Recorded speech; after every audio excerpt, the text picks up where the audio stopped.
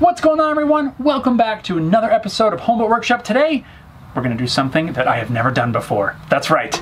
We're going to build a picture frame, but we're gonna use finger joints for the corners. This makes for a ridiculously strong frame, excellent for mirrors or super large frames that you need to make, except we're gonna make this little tiny one. Stick around, check it out.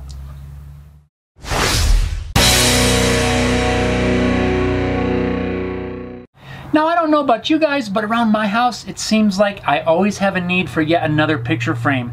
This could be to hang up anything from the latest school picture or the most recent awesome piece of artwork or any other sort of poster, music related item or anything. In this case, I want to build a small frame for this little piece of marketing materials. This is for Haley Guitars. I want to have a nice way to hang it up, put it on display. Now, I have done other frame videos in the past. I'm going to put links in the description to a few of those if you want to check some of those out as well. I wanted to try something different for this project, so I thought we would do the corners with finger joints instead of mitering or anything like that. Should be kind of fun. Since I'm building a very small frame, I don't need a lot of material. Looking through my pile of offcuts, I've got these few small pieces of elm. I think these are going to work perfect. These are leftovers from the elm table that I made recently. I originally wanted to use barnwood, but I thought since we're cutting these into thin finger joints, I didn't want to risk the softer barnwood breaking, so I thought using a hardwood would probably be a better idea.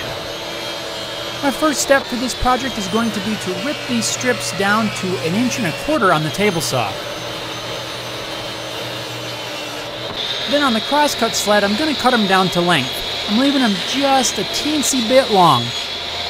So I've got my frame pieces all laid out. Before we make any cuts, I want to just make a couple of marks on here so that I can keep the corners together. Once we start cutting, it's going to be important that we always keep these two sides together, these two, these two, and so on. I'm making a mark on the top. I want to make sure I am always referencing this top face. Now I'm going to remove the combination blade from my table saw and install a rip specific blade. The reason I'm using this blade to cut the finger joints is because the teeth have a nice square profile. You don't get that V shape like you do with a combination blade. And now I'll install the finger joint jig onto my crosscut sled.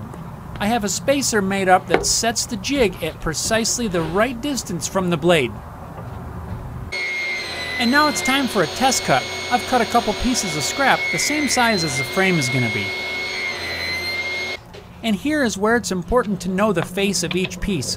When you're making these cuts, the face is always going to point toward the blade.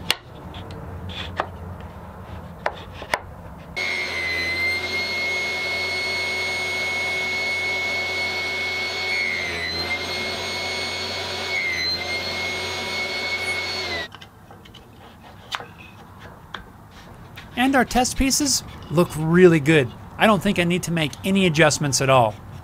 But if your joints are too loose and you need to make any adjustments, you'd want to move your spacer away from the blade. You'd loosen up your clamps and very carefully tap this over just a teensy bit, like maybe the thickness of a piece of paper. Just to move that a tiny bit, that'll tighten up the joint. Then clamp it back down and do another test cut. Since I'm happy with the test cut, I just went ahead and started cutting all the finger joints for the pieces. If you guys are interested in seeing a little more in-depth how to make and use a simple finger joint jig like this, I've got a video that I made a while back. I'll put a link in the video description.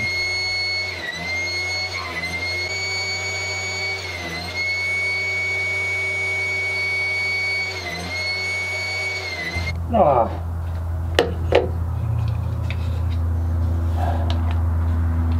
I think the worst part about doing finger joints is there's so much dust. Definitely you want to wear some sort of breathing protection. Make sure you stay safe. This does take a little bit of time and you don't want to be breathing all of this dust the whole time you're making these cuts, so respirator. And now we glue.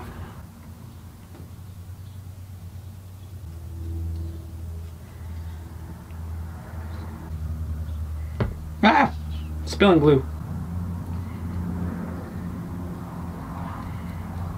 I'm gonna jump in here really quick before we get to the next clip and then you guys are going, wait, we missed a step in there, what happened? And that would be correct because somehow I missed the clip of me putting this thing together. Really, you didn't miss anything too important, just shoving the joints together and adding the clamps.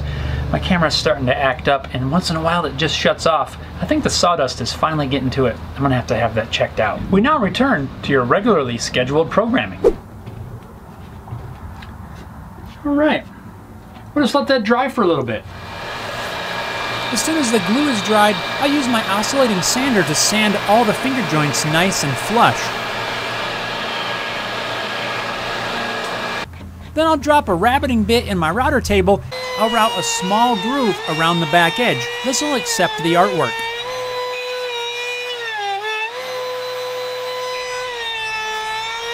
Next, I'll swap that out for a 45 degree chamfer bit and run a small chamfer around the front edge towards the artwork.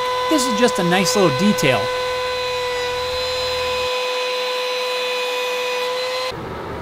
Now measure an inch and a half in from each edge and make a small mark. These marks will indicate a start and stop point to run a chamfer around the outside edge. I don't want to chamfer the corners, otherwise I could damage the finger joints. But I want to add a small detail in between the finger joints.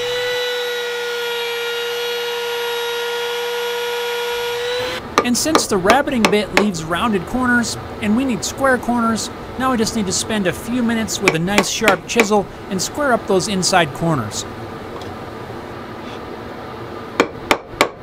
It is amazing how much difference a very sharp chisel makes. Even if it's not a super high quality chisel, this thing is hair popping sharp.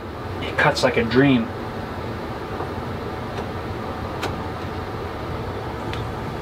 I also have just a little bit of cleanup work to do on the front face as well. Again, because the router bit leaves a rounded edge and I need a nice square edge.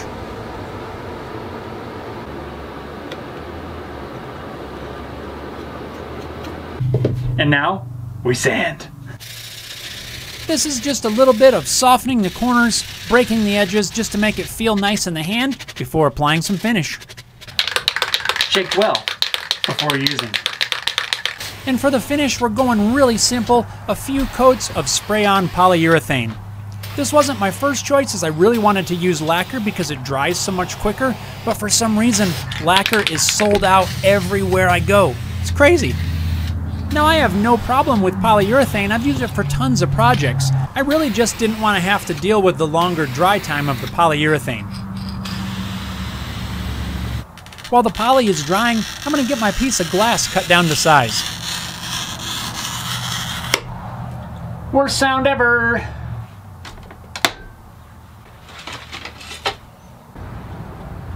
And now, all we need to do is assemble this. Drop our glass in. Now we can drop in our artwork, which in my case is some Haley Guitars promotional material. Just some cool stuff that I want to have on display. I've just cut a piece of cardboard that I'll use as the backer now to hold everything in place, I'm going to use this pneumatic tab point gun. You can also get manual versions of these as well. These are made specifically for holding the tabs in on the back of frames. Now I know a lot of you may not have a tool like this and that is completely okay. Doesn't mean you can't do this project. Just use some finishing nails, tap them in at an angle. It's gonna hold everything in place just as good, but since I have it, this is what I'm gonna use. Just in case you guys are unsure what a tab point is, here's a few of them. These are just the little tabs. They have a point on the end and that's what gets shot into the side of the frame. They're made out of a flexible metal that you can bend to hold everything in place. These are found on the back of a lot of frames.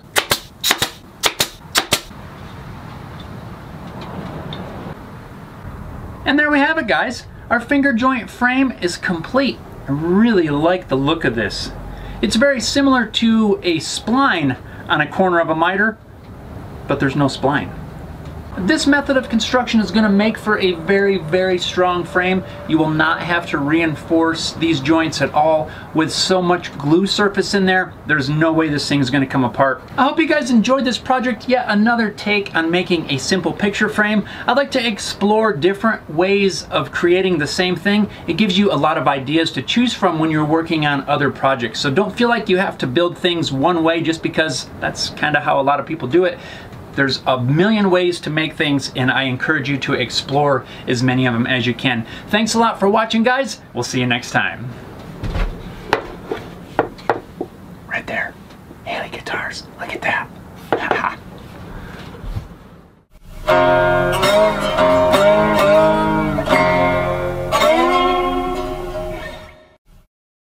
Did you guys notice what I forgot on this project? Any way to hang it. I need to install a hanger. I don't even have any right now, so I'm gonna have to go buy some, but we're gonna refer to an old video and pretend that it went something like this. I like to use a little tack hammer and a pair of needle nose pliers, the pliers to hold the little nail. That way when you tap it, you're not hitting your finger because it's so small. Plus this doesn't hurt quite as bad when you do hit your finger because it is a little bit smaller.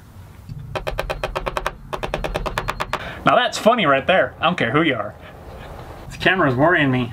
It shuts off just on a whim. Look at me. I look like I'm ready to go to Home Depot. That's not funny, is it? I've seen people wearing these recently. oh, I guess we should plug the saw back in. It doesn't turn on without it. It's like 88, 89 degrees in the shop. The worst part right now it's 102 degrees outside, but at least it's a dry heat.